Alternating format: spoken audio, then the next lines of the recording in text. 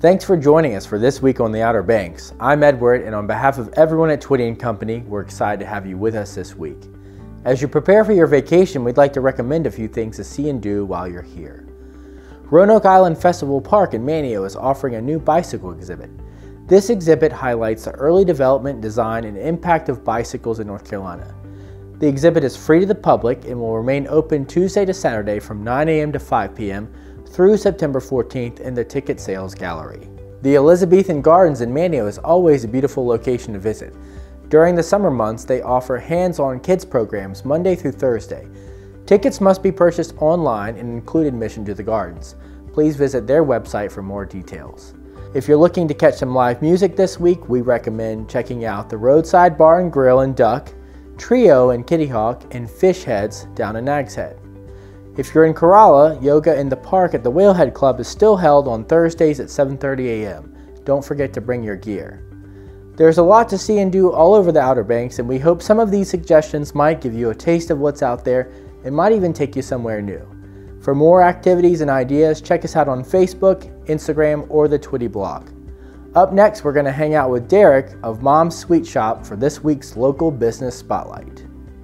So I'm here at Mom's Sweet Shop with Derek, and we realized this morning I actually went to high school with Derek, so it's really cool to be here because I'm ashamed to say I've actually never been here. I've heard about this place a lot, but I look around the room and I see your influence in here, the skate stuff, and uh, I mean, tell me about the idea for it. How'd you come up with this? So when Jess and I wanted to start Mom's Sweet Shop, it was just going to be vintage and skate and records.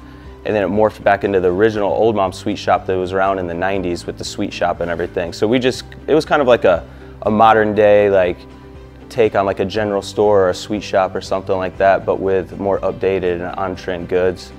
And then in 2015, we did the whole sweet shop, ice cream, smoothies, acai bowls, and stuff like that. So it just kind of organically grew back into original sweet shop. I mean, I see your I see your stickers on the road on yeah. cars. I mean, I didn't realize I didn't even associate some of the stuff with the store until I got in here. But it's a really the retail side of it's really cool. I really like that. And then you have the other side where it's just all the, the goodies and the sweet stuff. It's super eclectic. Uh, really, people come in thinking it's just a sweet shop, and then they discover this, and that's what really I think has made it so people keep coming back for 10 years. It's super cool. Yeah, even some records. Yeah. Love the records. Got all kinds of vintage vinyl, skateboards, vintage t-shirts, new t-shirts, and all kinds of cool stuff.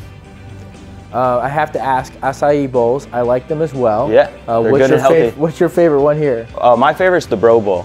What's in it? Uh, almond butter, blueberries, banana, almond milk, then topped with blueberries, banana, almond butter, hemp seeds. It's super good. And what we're probably around milepost four? Milepost five. Milepost five. Okay. So if you're on the Outer Banks, you're looking for an eclectic mix of uh, of goods to buy as far as retail stuff and, and goods to buy as far as sweet offerings. This is a great place to stop through. It's, I like that line, sweet offerings. Yeah, sweet offerings. I like it.